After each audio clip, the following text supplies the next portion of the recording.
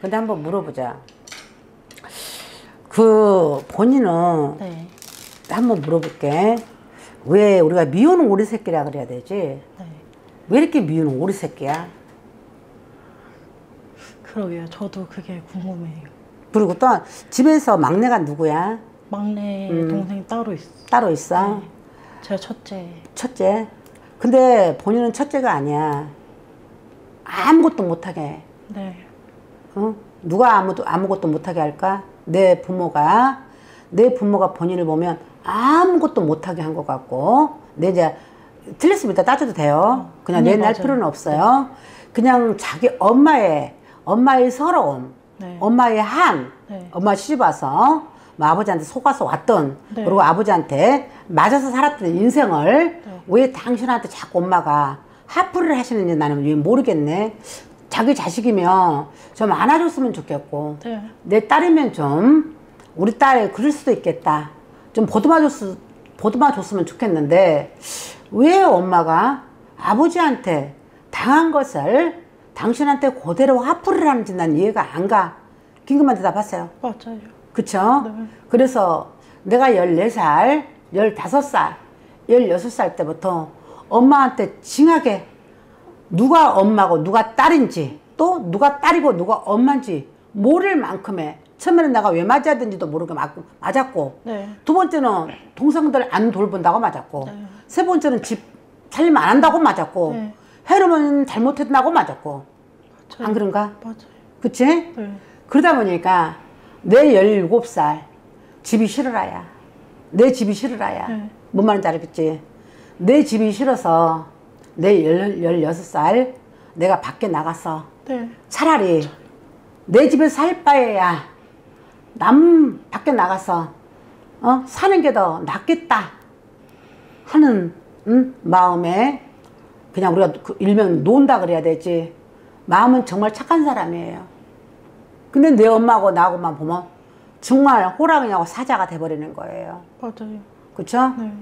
그래서 어느 순간 내가 엄마가 하지 말란 짓만 골라서 하게 돼버리는 거고 맞아요. 또 나는 내가 좋은데 강제적으로 엄마 머리채를 엄마가 내 머리채를 끌고 질질질 끌고 다시 내 집으로 들어와야 되고 음. 아닌가요? 맞아요. 그쵸? 네. 아마 그런 인생을 반복된 인생을 계속 살았을 거야. 네. 그치? 네. 근데 한번 물어보자. 이건 내가 잘못 볼 수도 있는 거고, 내가 한번 본 사주에 일찍 결혼을 해라야. 그러니까 결혼을 안 하더라도 네. 빨리 아기를 낳아서 우리가 이방을 보내든지 네. 유산을 한다든지 손발이 다 생겼을 때 네. 당신 애기 두 번이나 그런 적 있어. 네. 두 번이요. 입양 입양 보냈어요. 근데 당신 모르게 보냈지. 네. 거의 그냥 성의 없는 대답하지 마. 어 맞아요. 그게 강제적으로 뛰어났냐 이 말 하는 거야. 처음에는 엄마랑 음. 얘기를 하고 미혼모 센터를 손 엄마 손에 끌려서 가서 음. 무조건 입양을 보내야지 어떻게 키우냐 하셔가지고 그때 엄마랑 어, 그러니까 안 보내면 엄마는 다시는 못 본다 하셔서 그때는 진짜 강제적으로 그냥 그렇게 입양을 보냈고 두 번째는 사실 이제 너무 제멋대로 이렇게 놀다가 두 번째는 그냥 제가 이제 제 발로 첫 번째 아 미혼모 센터 들어가면 되는구나 라는 걸 이제 깨닫게 돼서 두 번째는 제가 본 왜 이런 말을 하냐면 그래서 첫 번째는 당신이 좋아하는 사람이었어. 네 맞아요 당신이 좋아하는 사람에 내 엄마가 강제적으로 떨어뜨리는 거였어. 네 아무리 철불지라도 아무리 나이가 어렸다 치더라도 차라리 그 아이를 잘 키웠으면 어, 어떠나 싶은 생각도 들고 네 그 남자랑 당신이 그렇게 안 맞지도 않, 맞, 안 맞지도 않았어. 네. 나름 사랑을 하고 살았더란 네. 말, 말을 하는 거야. 네. 나름 나이는 어렸지만 알콩달콩 살았더란 말이야. 네. 집 하나 만들어서 집을 저, 무슨 말인지 알겠지? 네. 그러나 그 집을 만드는 집을 내 엄마가 다 뽀개버렸단 말을 하는 거지. 음. 그치? 그래서 강제적으로 이끌려서 온 삶, 그 삶을 말을 하는 거고, 네. 어? 근데 지금 당신 마음에서 그래도 내가 당신을 야 이년아 그럴 바에 왜 그랬어 그런 말을 못한 이유가 한 자락의 죄인처럼 당신이 죄인처럼 마음에 죄책감을 지금 갖고 있기 때문에 내가 말을 못해요 죄책감 없이 뻔뻔하게 살았더라면 그러고도 네가 살 줄 알았냐 이렇게 이야기를 할 텐데 네. 마음속에 자꾸 죄책감 한 번 정도는 보고 싶다 맞아요. 그쵸? 네. 그렇기 때문에 저 슬픈 인생을 얼마나 억눌고 살까? 어떻게 지정신으로 살까?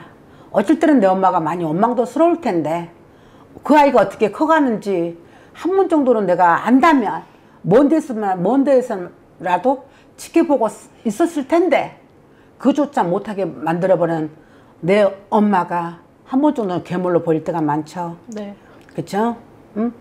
정말로 한 번이라도 엄마가 우리 딸 고생했어? 우리 딸 열심히 살았어? 정말 그런 말 한 번만 해줬더라면 본인 그렇게 엇나가지 않았을 것 같아. 어? 엇나가, 나갈라 하고 싶어도 못 나갔을 것 같아. 그치? 네. 근데 뭐든지 XX부터 시작해서 XX부터 끝나나 봐. 그쵸? 네. 아버지 대신 아버지의 빈자리를 화는 자리를 다 당신한테 정말 우리가 미운 오리 새끼라 그래야 되지? 미운 오리 새끼처럼 왜 자기 뱃속으로 놔놓고 왜 그렇게 모질게 됐는지 난 이해가 너무 안 가. 당신이 밥 먹는, 밥 먹는 것조차 꼴보기 싫어했고 맞아요. 그치? 당신이 뭐 하는 것만 뭐 맞아. 태클을 걸고 다, 다 너, 너, 너, 너, 너, 너. 어떻게 숨 쉬고 살았어? 어? 나부터도 있잖아. 도망갔을 것 같고, 나부터도 그렇게 됐을 것 같아. 어? 난 그러지. 두 번째 얘기 또 그랬다 그랬잖아. 그냥 내 정신을 놔버리고 그냥 될 도로 되라. 그래, 나 인생 뭐, 내 인생이 뭐, 그냥 이러다 뭐 죽으면 그만이지. 그런 마음으로 살았던 것 같아. 네. 그치? 네. 응? 정말로 한 번만, 두 번도 아니야. 한 번만 우리 딸, 엄마가 미안했어. 그 말하기가 그렇게 힘드나? 나는 그래. 난 내가 어른이라도 내가 잘못한 것은 아무리 나이 어린 애들라도, 어린 애들라도 그건 내가 잘못한 것 같아. 미안해. 난 사과를 하는 편이거든. 당신 엄마는 그게 없어. 네. 무조건 너는 내 딸이니까 복종하라 복종 당신 엄마는 뭘 그렇게 잘해서 맞아요. 항상 저한테 엄마는 엄마 말은 무조건 복종하고 순종해야 되는 거라고 항상 그렇게 말씀하셨어요. 그러면 당신도 또- 딸 앞에서 이런 말하기 참 민망하지만 당신도 어? 행동 똑바로 하셔야지 어? 엄마 술 드세요? 네. 응? 술, 드, 술 드시고 그런 모습을 자식 앞에 보이지 말아야지 특히 당신 앞에 보이지 말아야지 술 한 잔 마시면 아버지가 때려 부시는 게 아니라 엄마가 다 때려 부시고 아닌가요? 맞아요. 그쵸? 네. 그럴 때마다 한번 물어볼게요. 식구가 네명인가세명인가요 지금 엄마랑 저 동생 둘 있으니까 네 명이요. 네명 네. 그러면 아빠도 살아는 계셔요. 응? 아빠도 살아는 계셔요. 살아는 계시지만 아빠랑 엄마랑 남남으로 산 지 오래됐어요. 네, 이혼하셨어요. 그쵸? 네. 남남으로 됐기 때문에 아까 그 말이 그 말인 거예요. 그 말인 거예요. 아버지의 어? 하루풀이를 왜 당신한테 했냐고 물어보는 거예요. 어? 이제 알아듣겠어요? 두 분이서 이혼하시고 음. 진짜 말 그- 말씀하신 것처럼 맨날 술 먹고 막 거기다 오바이트 해놓으시고 막 소주병 다 깨놓고 막 그렇게 하셨었었는데 그, 그리고 나서 이제 아빠가 엄마한테 이혼 도장 찍으라고 바람 나셨거든요. 막 도박도 하시고 어렸을 때부터 엄마도 막 접해고 저도 많이 맞고 근데 마지막에 되면 아빠가 이제 식칼 같은 거 엄마한테 들이미면서 이혼 도장 찍으라고 했는데 하필이면 제가 아까 말씀하신 것도 맞아요. 제가 16살 그때, 그때부터 집에 나갔다 들어왔다 나갔다 들어왔다 했는데 그때 타이밍 맞게 집에 가고 싶었어가지고 둘째 동생 데리고 집에 갔는데 하필이면 그날 아빠가 이제 식칼 갖고 엄마 위험, 위협할 때였어요. 그래가지고 그때 제가 이제 경찰 부르고 어, 아빠 아빠 사, 사람 새끼도 아니라고 아빠 이렇게 띄어 떼어달라 그러고 엄마 그냥 이혼 도장 찍어라 그동안에 많이 했다 이제 그렇게 했는데 그렇게 하셔놓고서 지금은 또 저라 저는 이,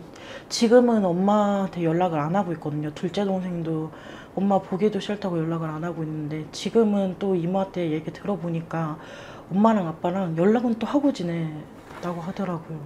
연락을 하고 지내든 안 하고 지내든 나는 그게 미안해 좀 관심이 없어. 나는 오늘 쓰면 당신이야. 왜 그러냐면 왜 아까 말했지 분명히 아빠의 하풀이를 네. 아빠의 하풀이를 당신한테 하냐 분명히 이야기했어요. 그렇게 싫으면서 왜 둘은 또 연락을 하고 있는지도 이해도 안 돼. 뭐 그렇게 싫다면서 그리고 제가 지금은 결혼을 했어요. 신랑도 아기를 둘을 입양 보내는 걸 알고 알고도 이제 결혼을 해줬는데 근데 실 엄마가 몸이 아팠거든요 많이 그래서 엄마는 신의 병이고 신의 병이고 그래서 내가 아까 그 엄마한테 하풀이 대상이 당신이냐고 물어본 거고 어? 또 역시 우리처럼 신병이 센 사람들은 신의 가물이 센 사람들은 뭐 어? 차라리 확 우리가 잘 불려서 어? 이렇게 나와버리면 상관이 없는데 그렇지 않으면 꼭 집안에 우리가 저기 풍파라 그래야 되잖아 풍파는 일어나 일어나는데 안쓰럽게도 엄마만 엄마답게 술을 드시지 말고 그 뭐 어, 물론 당신은 아버지 잘했단 말은 안 해. 네. 잘못한 건 사실이야. 했지만 엄마가 자식들을 이렇게 감싸고 키- 키웠으면 안 됐냐. 나는 그 말을 하는 거야. 맞아요. 엄마가 저기 좀 저겠단 말은 아니야. 엄마만 엄마답게 살라고 말을 하는 거야. 어? 아까 말했잖아.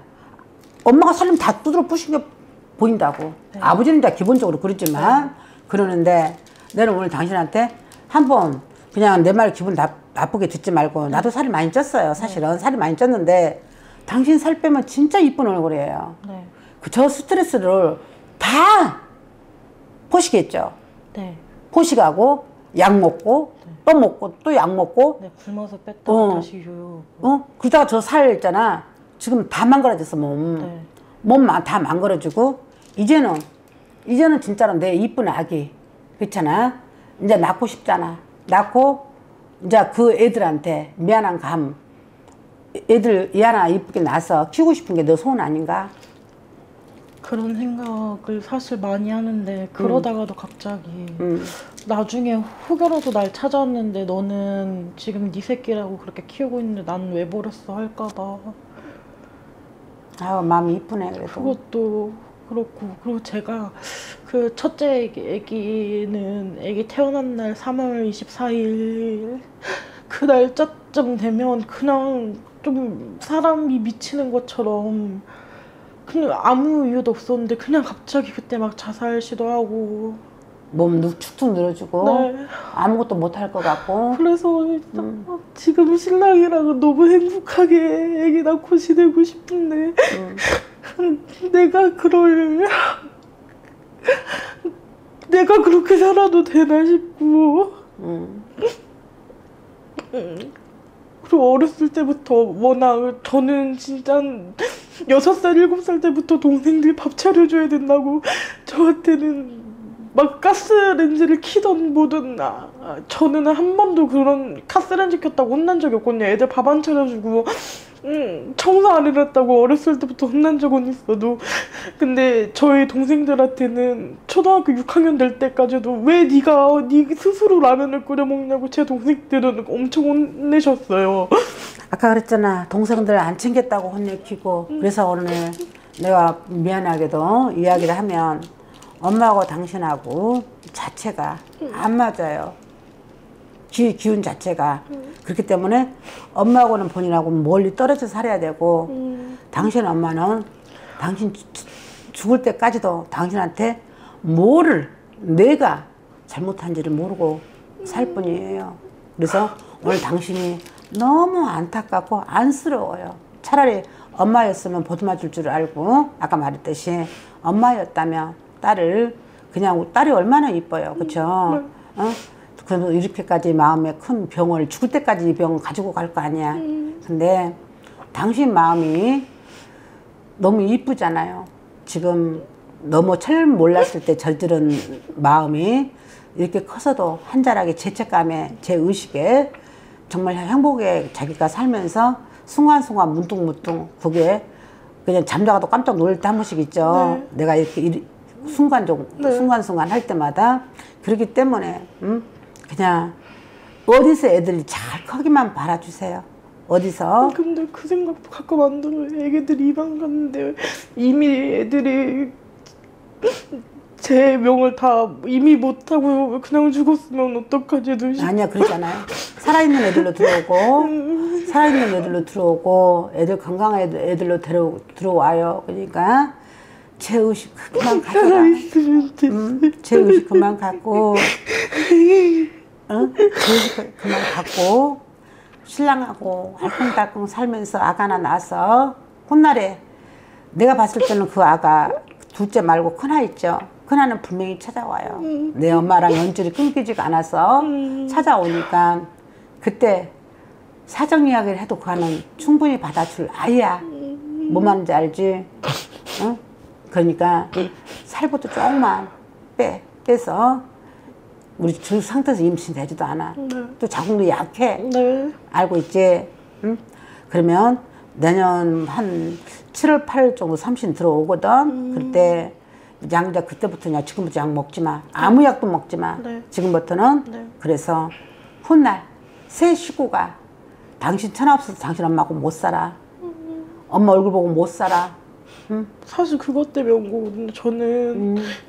엄마가 미운데 아, 안 미워요. 나는 천하 없어도 못 살아.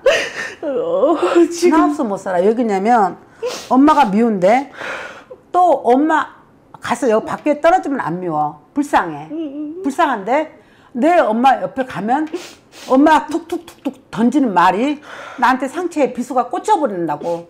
그러면 또 상처를 받고 또 나온다고 내 집에서. 그러면 다시는 가지 말아야지. 또 마음속에서 또 이런 마음을 또 먹고 있다고. 맞아요. 그럼 그건 어떻게 할 거냐고. 전처럼 그렇게는 안 지내도 그래도 음. 가족끼리 한 달에 한 한 번 정도는 모여서 밥 먹거나 아니면 서로 생일 정도는 챙겨주는 그냥 진짜 가족이니까 그렇게만이라도 지내고 싶은데 저희 엄마가 아파가지고 저희 저 회사 다닐 때 이틀에 한 번씩 엄마 엄마, 나- 엄마 네. 나이만 써. 나이 어때만 써. 아무 말 하지 말고. 어 나이가 말 쓰지 말고. 띠하고 당신 거하고.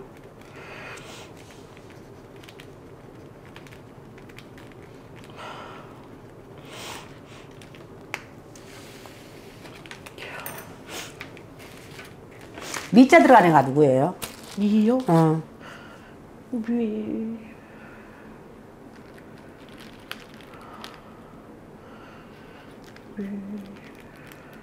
미가 저희 엄마 가명 엄마 가명이에요? 네. 미자 들어간 게? 네. 미.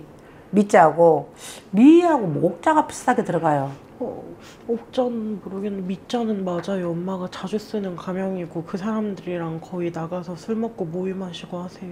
엄마 미자를 빼버렸으면 좋겠어요. 이름 중에서 미자를 빼버려야지만은 순간적으로 지금 모르겠어. 순간적으로 미자가 들어간 이름을 빼라는 좀 그, 그런 말이 들리는데 어떻게 보면 당신 엄마도 핀눈물이 여기 가슴에 맺혀 있어요. 네. 근데 하프를 할 상대자가 없으니 유일하게 받아줄 상대자가 내 딸인데 네. 그건 내 딸이 딸한테 하는 것은 학대지. 음. 어? 그건 내 딸한테 이야기해서 풀어나갈 수 있는데도 학대하는 거지. 내 딸한테 제 사랑으로 말하는 건 아니란 뜻이지. 네. 그러나 엄마를 읽었을 때는 엄마를 읽었을 때는 사랑은 해요. 안 사랑한 게 아니라 표현법이 너무 엄마가 모르는 거고 당신만 보면 엄마가 뱀눈이 돼버리는 거예요. 뱀눈이 돼서 그냥 엄마의 엄마가 아닌 제 3자의 눈으로 당신을 보이게끔 자꾸 엄마가 자꾸 자기도 모르게 그렇게 돼버리는 거야. 그 어린 나이에 청소해야 되고 빨리 해야 되고 엄마한테 맞아야 되고 동생들 옷도 다 빨아야 돼야 되고 동생들 입혀서 학교도 당신이 응? 챙겨서 이렇게, 이렇게 보내야 되고 응? 맞아요. 제가 저도 이제 크고 나서는 제 동생들을 시켰을 거 아니에요. 근데 그거를 어. 그, 그 동생들한테 이, 그 둘째, 셋째한테 시켰다고 어떻게 네가 그럴 수 있냐고 저는 집에서 완전 나쁜 년이 다 되어 있었고 근데 애초에 그 모든 일을 시킨 건 부모님이 저한테 뭐 시킨 거였잖아요. 근데 단 한 번도 미안한 그게 없으세요. 당연히 네가 해야 될 것들이었는데 아니야. 동생들을 절대로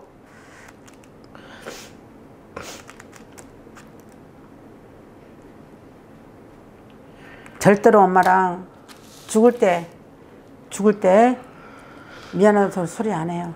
그냥 당신이 모든 것을 포기하려고 포기하고 엄마를 만나려면 만나요. 그러나 나는 그래요. 당신을 봤을 때 저 마음은 따뜻한 마음은 누구한테서 오는 마음이지? 누구한테 배운 마음이지? 참 그래도 누가 잘한다 잘한다 그러면 잘할 사람이거든. 그치? 네. 남한테 패기 줄 사람 아니거든. 네. 응? 올해 어, 올해 내가 올해까지는 좀 안 좋아. 내년부터 괜찮아져. 아, 그래요. 내년부터 괜찮아지니까 네. 그냥 이미 지나간 일이잖아. 이미 지나간 일에 훗날에 그 아이들이 나를 찾았을 때 떳떳한 부모가 돼 있어서 그때 내가 철이 너무 없었다. 미안하다. 네. 그 준비하고 기다리면서 열심히 살아가요. 그러면 돼요.